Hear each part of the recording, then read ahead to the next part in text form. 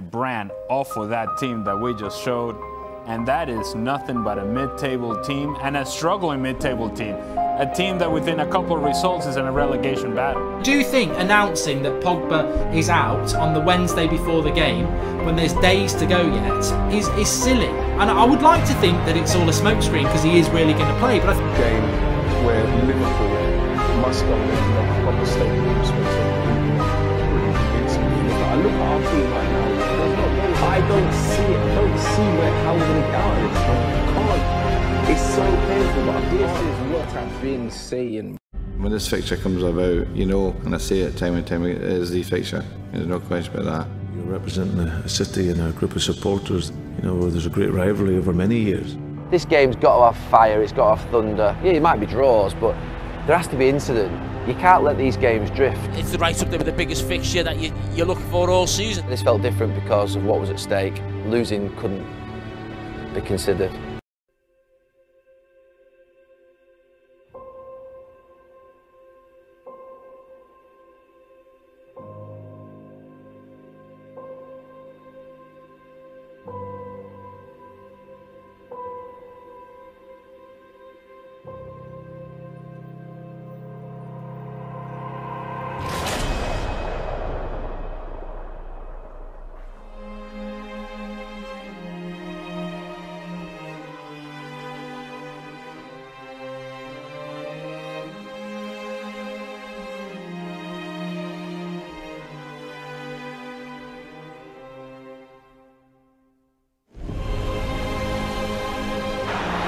James with the ball in. Rashford!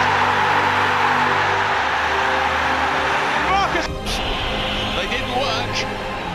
Anthony Martial. Error. Oh, no one could get a touch. And that effort is brilliantly struck. What a magnificent strike. Scott McTominay. Oh, Rashford. He could make up for his error here. Rashford, brilliant. No miss. Brilliant. Martial's in. Yes. No.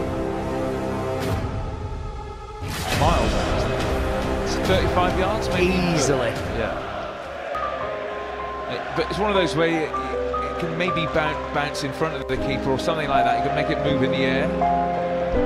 Um, Rashford's certainly going to take it. I mean, look how far the wall is, how far out it is. It gives you an idea of just how far out this is for Marcus Rashford.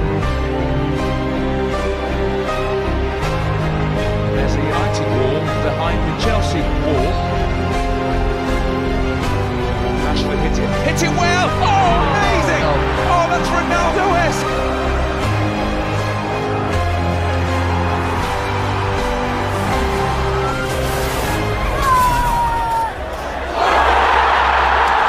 They're going through to the quarter-finals of the Carabao Cup.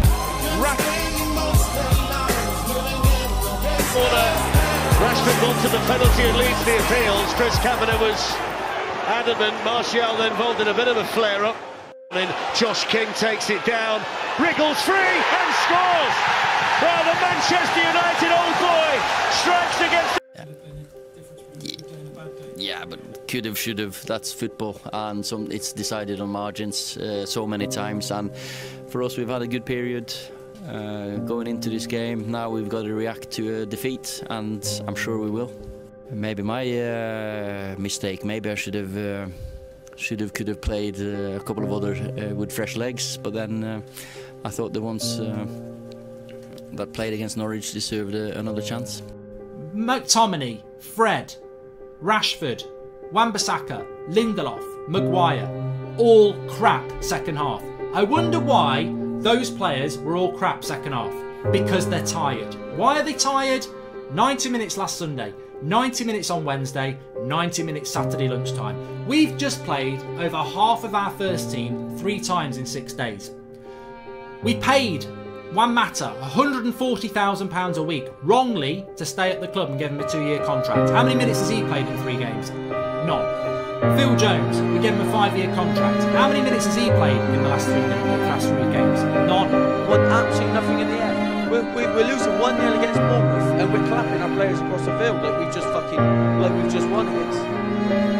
Like like we've just like, like we've just beat like uh, the, Liverpool. We just lost one 0 against Bournemouth. We we and we're clapping. It's like, Yeah, have to be held to account. 500 fans clapping our players like they've done a good job. They've played shit. They've, they've not done a good job. Do you know what I mean? It's, it's uh, Lindelof. He done a fantastic job today. Fred, he worked his ass off, but he's not good enough to play for Manchester United. He's not good enough to play for Manchester United. He is not a centre midfielder that is good enough to play for Manchester United.